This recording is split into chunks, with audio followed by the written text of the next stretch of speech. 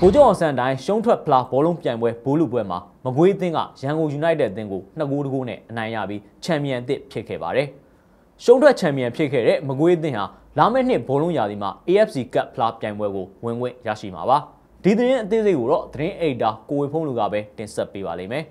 2016ဗိုလ်ချုပ်အောင်ဆန်းတိုင်းရှုံးထွက်ပြိုင်ပွဲဗိုလ်လူပွဲမှာမကွေး FC အသင်းကရန်ကုန်ကို2ဂိုးတကိုးနဲ့အနိုင်ရပြီးချန်ပီယံဖြစ်ခဲ့ပါတယ်။ မကွေးအသင်းဟာရှုံးထွက်ပြိုင်ပွဲမှာချန်ပီယံဖြစ်ခဲ့တဲ့အတွက်2019 AFC ကပြိုင်ပွဲကိုလည်းဝင်ရောက်ရှင်ပြိုင်ခွင့်ရမှာပါဟိုချိန်ချိန်ပြီးဆိုတော့ခုနကသူပြောပြီးသွားပြီဟုတ်တယ်ဒီတမတ်ချက်တွေနဲ့သူအသင်ကောင်းတသိန်းပြအောင်လို့လုပ်ပါမယ်နော်ဒါတွေတော့အခုကဆက်ပြီးတော့အသင်းပိုင်ရှင်တင်ပြအောင်သူက AFC ကတ်ပြောလဲဒါဒုတိယမြင့်တာပဲဟုတ်လားအကောင်းဆုံးတင်းနေတာပါဒါတော့အခုကျွတင်ပြင်ဆင်ရမယ်။ ရန်ကုန် United အသင်းကတော့ဒီနေ့အမှတ်ပေးပြိုင်ပွဲမှာချန်ပီယံဆုကိုရန်နာဘုံကိုလွှဲပြောင်းပေးခဲ့ရသလိုရှုံးထွက်ပြိုင်ပွဲမှာလည်းမကွေးကိုရှုံးခဲ့လို့ဖလားလက်မဲ့ရာသီကိုဖျက်ဆီးရပါတော့မယ်။ရှုံးထွက်ပွဲကစားခဲ့ရတဲ့အောင်ဆန်းခွင့်ဟာရန်ကုန်အသင်းအတွက်အခက်အခဲရှိတယ်လို့နီးပြချုပ်ဦးမျိုးမင်းထွန်းကသုံးသပ်ခဲ့ပါတယ်အဲပြောရမယ်ဆိုရင်တော့ကျွန်တော်